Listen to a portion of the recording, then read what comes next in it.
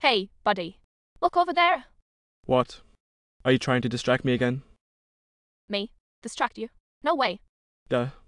Last time you said a squirrel was riding a unicycle while juggling coconuts. Then you stole my snack while I was looking for nothing. Oh, come on. Can't you take a joke? This time it's really different. Look, there's a, a dancing elephant.